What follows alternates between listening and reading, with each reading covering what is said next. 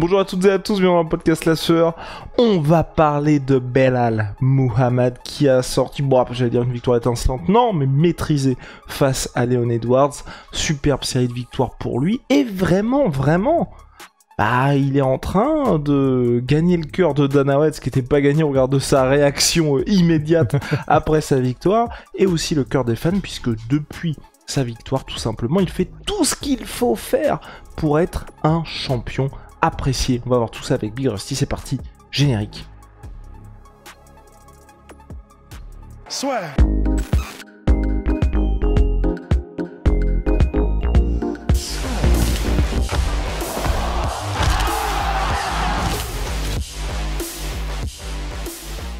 Belal Muhammad, outsider lors de la revanche contre Leon Edwards, il s'est imposé et désormais, c'est taille champion Big Rusty.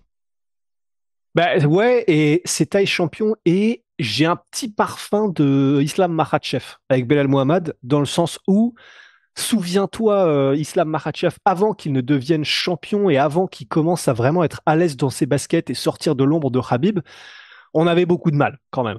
Euh, souvenons-nous, avec euh, on était en mode bon, il parle pas, il fait des têtes bizarres, euh, il est pas très intéressant. Quand il combat, c'est pas, c'est pas la folie, c'est pas, c'est bien, mais euh, bon, voilà, on, on se pisse pas dans l'œil nécessairement. Et il y a eu un changement petit à petit avec Islam, et il est devenu ce champion, ce et cette personne qu'on surkiffe maintenant. Moi, je le surkiffe maintenant, Islam Makhachev. Et parce que et il a, il est beaucoup plus à l'aise. Il fait, il fait des vannes, mais tu sens qu'il est vraiment, euh, il est, il est, il n'hésite plus à faire du trash talk et tu sens que c'est vraiment lui, c'est sa personnalité qui transparaît, etc. En tant que champion dans la cage, euh, bon bah il est monstrueux. Donc il y a tout et on l'adore. Et ben avec Belal, on avait beaucoup de mal quand même euh, avant par son style de combat qui était pas spectaculaire du tout, qui ne l'est toujours pas. Mais enfin bon, au moins là, il prouve que niveau compétences, euh, bon par contre, va falloir aller le chercher. Donc déjà, il bat Leon Edwards, ce qui est quand même monstrueux. Donc déjà sur le plan des compétences, on peut rien dire. Le mec est monstrueux, même si c'est pas un spécialiste des KO ni des soumissions et tout ça.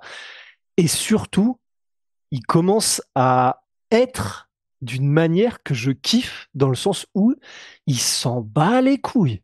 Maintenant, il dit les choses, mais alors euh, peut-être qu'il les disait aussi avant, c'est juste que les gens ne le prenaient pas au sérieux et nous les premiers, c'est fort possible, mais c'est toujours plus impactant quand tu fais du trash talk, quand tu es en pleine confiance et en plus que tu es champion UFC et que tu as fait ravaler ces mots à tout le monde. Et là, pour vous faire un petit florilège, Déjà, premièrement, sur le côté, il est le champion que, un- le genre de champion qu'on adore. Il est pas en mode Topuria. Il est pas en mode bon bah maintenant euh, voilà, je vais peut-être me battre contre Connor. On va voir ce que je veux faire. euh, peut-être la fin de l'année, peut-être Bernabeu, peut-être Max Holloway ne veut pas me combattre. Non, non.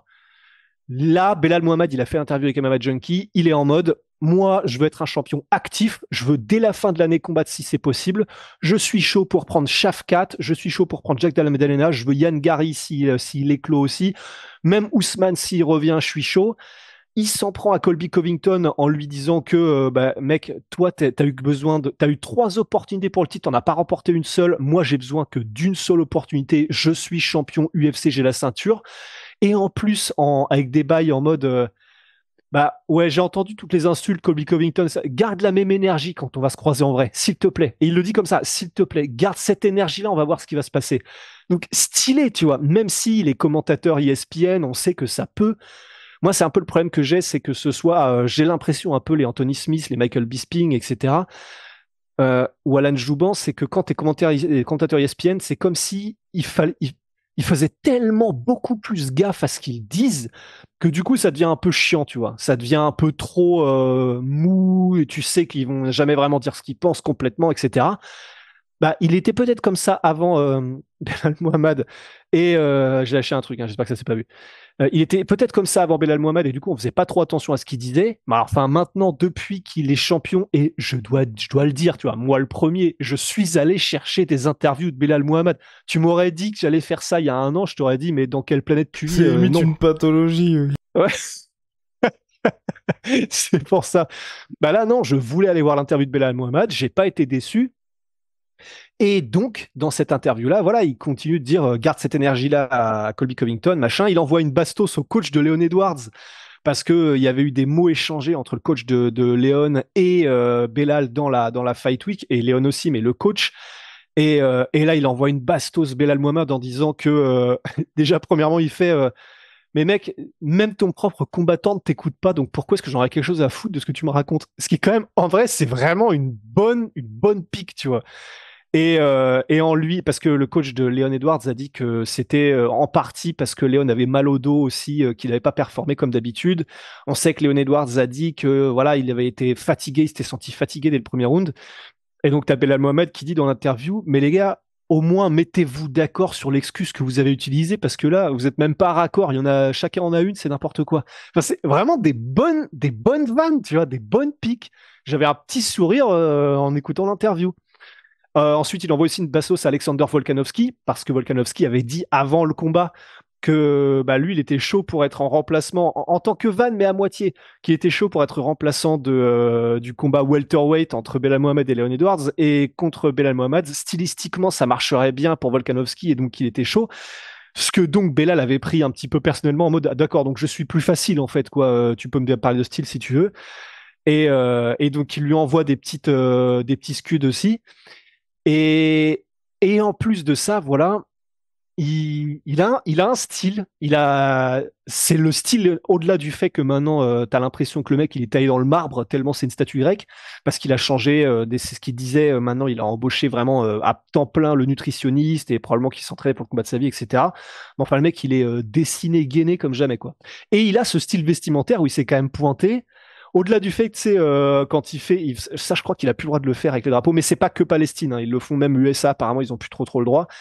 Quand il avait ces drapeaux de la Palestine avec des grosses lunettes de soleil là de euh, ah, j'allais dire Réservoir Dogs mais c'est pas ça. Ah, c'est quoi le film tu avec les trafiquants d'armes là avec euh, je crois que c'est Channing Tatum mais non non avec Nicolas Cage Nicolas, Cage. Lord of War. Lord of War c'est ça. Euh, les petites lunettes de soleil en mode Lord of War et tout. Enfin et là, il s'est pointé avec le maillot des Chicago Bulls, ou je crois que c'était ça, parce que c'était vert, donc je sais plus trop quoi, un pendentif, un gros pendentif en mode bling bling, mais assumé. Je sais pas. J'arrête mon monologue, mais là, là, peut-être depuis que je m'y intéresse plus, hein, c'est peut-être moi le fautif. en même temps, voilà, maintenant il est champion, donc c'est normal. Mais il y a, y, a, y, a un y a un Belal Mohamed qui est en train de devenir petit à petit de grandir en toi. ouais, voilà, ce problème c'est que c'est growing on me euh, le l'expression anglaise il est en train de, ouais, de faire son petit bonhomme de chemin euh, dans, dans nos psychés, dans nos têtes, euh, voilà quoi. Non, mais surtout, ce qui est bien, c'est que le gars n'a pas changé. Moi, c'est ce que j'apprécie. C'est, je vous avais dit, ce qui m'a énervé avec Léon Edwards. Là, voilà, c'est quelqu'un qui est toujours le même et surtout qui est vraiment sur ce rythme-là et qui, j'ai l'impression qu'il sait exactement là où il en est, quelle est sa relation avec les fans. Tu vois, il jouait le méchant face à Léon Edwards parce qu'il savait que les gens venaient pour voir, voir perdre. Il n'y avait pas de suite. Les gars, allez-y, continuez de me huer. Il y a pas de problème. Je vais gâcher la fête. Ça se transforme ce qu'il a fait. Exactement. Et moi, j'aime vraiment bien les gars comme ça qu'il a aujourd'hui. Voilà, il sait que c'est toujours pas le, plus apprécié, donc il va prendre tout le monde. Et quoi qu'il arrive, bah, au bout d'un moment, il lui donnera son respect. Le seul truc avec lequel j'ai un peu de mal, c'est son délire de je suis déjà au niveau de Kamaru Usman, GSP, je suis à une ou deux victoires, je crois qu'il... Enfin bref, le, mec est vraiment dans un, je trouve, un monde parallèle par rapport à ça, par rapport au classement des plus grands de tous les temps chez les. Ça m'a même pas choqué qu'il avait dit ça, je crois. Soit mon cerveau a pas voulu le retenir, ou j'ai peut-être pas vu ce moment, mais ok, il est en mode euh, je suis l'égal de GSP. Oui, exactement, parce qu'en fait, tu sais, en plus, en commençant à faire ces petits, euh, les mathématiques MMA en mode euh, j'ai battu Leon Edwards, ah, qui a battu Kamaru Usman, donc je suis au-dessus de Kamaru Usman, et donc je me rapproche de. Mais ça m'arrive tout le temps, pardon, avec celle-ci. donc je me, donc je Donc je me... le mec a quand même 31 ans, putain de merde. Donc je me rapproche de pour celles et ceux, hein, pour celles et ceux qui nous écoutent sur Spotify, Rusty donc vient de boire à la gourde et n'a pas réussi à trouver la mire. voilà. Non mais c'est pas ça, mais c'est parce que pour ces gourdes là, il faut savoir qu'en fait t'as un petit rejet à la fin euh, comme un bébé. Et donc il faut le savoir et je l'oublie parfois. Donc euh, il faudrait garder la gourde et machin. Voilà. Ah, on a tous des, des, gros problèmes. Bref. et donc euh, Belal Mohamed, à part ça, moi j'aime vraiment bien ce côté.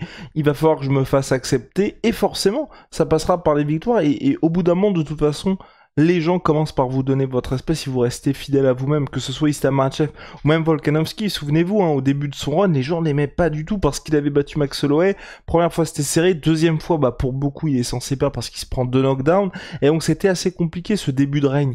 Mais au fil des combats, le fait que le mec était toujours chaud pour combattre n'importe quand, n'importe qui, aujourd'hui, c'est l'un des, véritables favoris du public. Donc voilà, je pense que euh, Mohamed va falloir qu'il poursuive. Et l'avantage qu'il a aussi, c'est qu'il est dans une période de transition pour cette catégorie. Attention, parce qu'il est quand même un peu âgé, il a 35 piges, Belal Mohamed, donc ça, c'est ce qui peut faire que, mais il y a pas mal de, de mecs chez les, chez les welter, pas mal de gars qu'il n'a toujours pas affronté, donc là aussi ça peut être intéressant voilà, le, plus dur commence, mais j'espère juste qu'on n'aura pas quelqu'un qui va commencer très rapidement à faire la fine bouche, tu vois, parce qu'on les connaît ces mecs-là et moi ça me ferait péter un câble. Et là, il a tout intérêt pour moi à être actif, hein, parce que l'UFC ah, a besoin de champions hein. comme ça.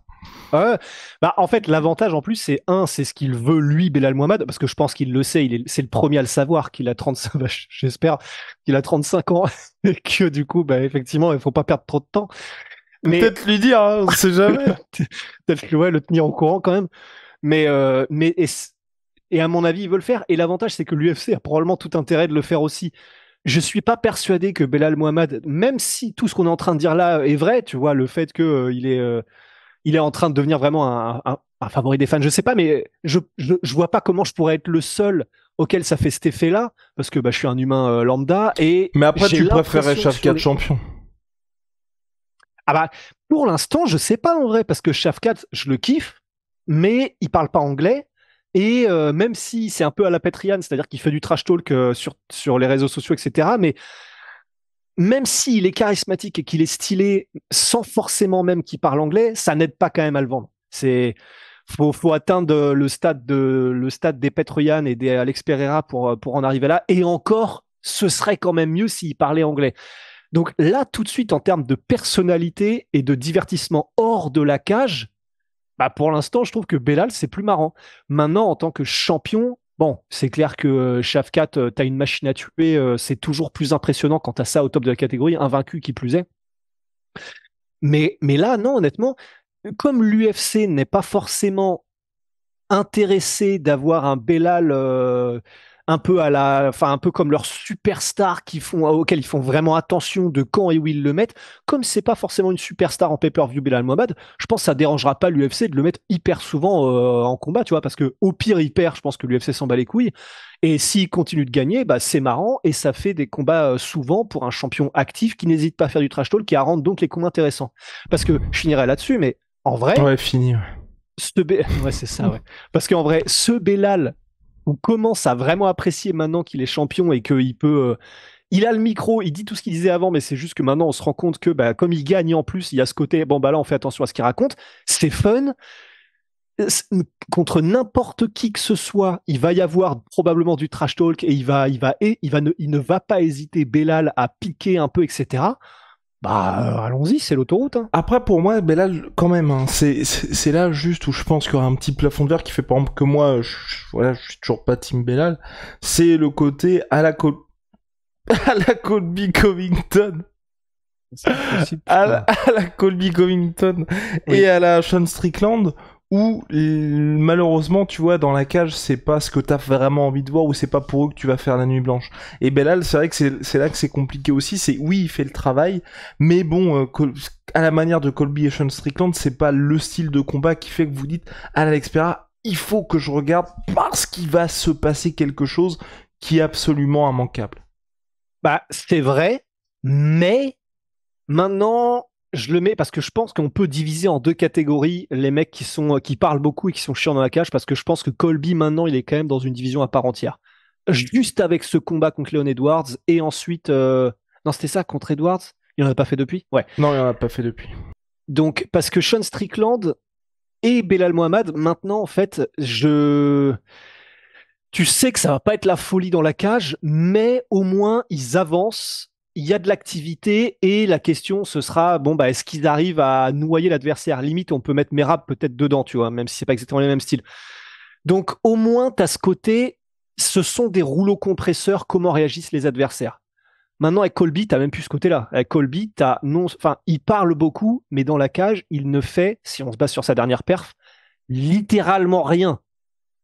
Donc, je pense que Bellal, il est quand même encore dans cette catégorie, comme on l'a vu là contre Leon Edwards, où il avance, il avance, il avance. Oui, il finit pas, mais euh, bon courage pour respirer quand le mec est en face, quoi.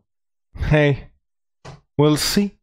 We'll see about that, Big On va voir ce qui va se passer pour notre cher Belal Mohamed, mais ouais, pour moi, il faudrait quand même deux trois performances un peu, euh, tu vois, comme, enfin, première action de Dana White, c'était c'était pas la folie le combat contre Leon Edwards, donc euh, à voir, parce qu'il faut quand même que les gens c'est quoi 80 dollars je crois aux États-Unis le prix d'un pay-per-view.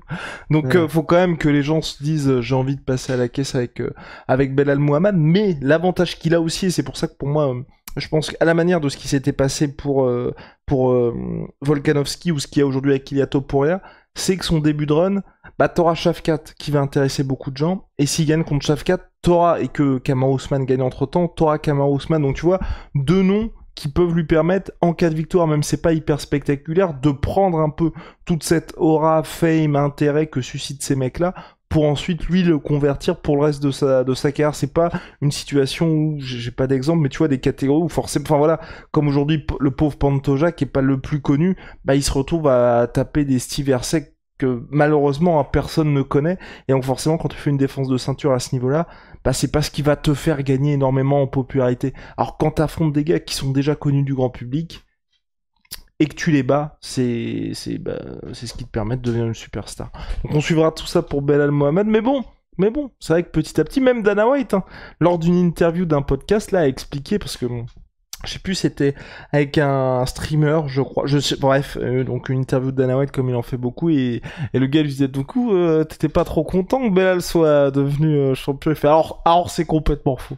Alors c'est complètement faux. D'ailleurs ma vidéo sur les réseaux sociaux où je lui mets la ceinture il y a 8 millions de vues pour Thomas Spinal 22 millions de vues pour Belal Mohamed qui est selon Dana White un record en la matière donc comme quoi, il y a pas mal de gens qui étaient pour Belal Mohamed. Et apparemment, bah, c'est ce que Manu disait aussi, hein, lui, dans son fameux Dave and Busters, là où il regarde tous ces... Là où il regarde tous ces... Donc c'est une chaîne de... Je sais pas si c'est fast food, enfin bref, là où il regarde tous les événements UFC, la, plus... la majorité des gens étaient pour Belal Mohamed. Parce que c'est vrai que bah, il a cette euh, double, je veux dire, double casquette, double nationalité, palestinien américain, donc c'est vrai que ça, y a, ça brasse beaucoup de gens, et donc euh, comme aux États-Unis, on a pas mal qui le soutiennent aussi. Donc, enfin, c'est quand même à prendre en bah. compte parce que de notre côté, nous, on était quand même plutôt, j'avais cette impression que les gens étaient quand même plus euh, Team Leon Edwards.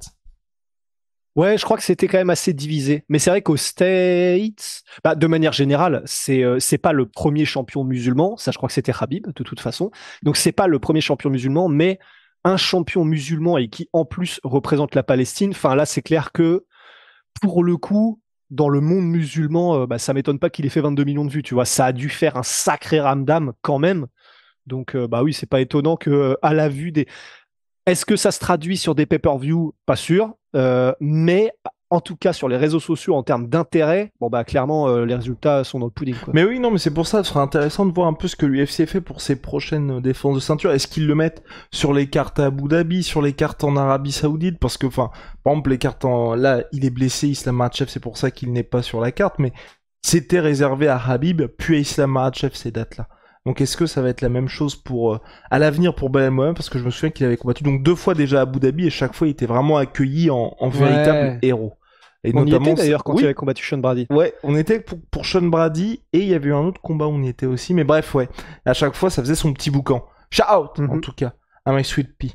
My Sweet Protein, c'est grâce à ça que Belal Muhammad est devenu aussi balèze. Donc moins 30% avec le code la sueur sur tout My Sweet C'est exclusivement de Outbakes, voilà. Exclusivement. Et euh, Holy Moly Révolution dans les boissons énergisantes, thé glacé, boissons de réhydratation et donc boisson énergisante, c'est en poudre une multitude, les gars, de saveurs, c'est ce qui fait plaisir. Avec Olimoni, première commande, code la sur 5, moins 5 euros. Si vous avez déjà commandé chez eux, code la sur 10, moins 10%, c'est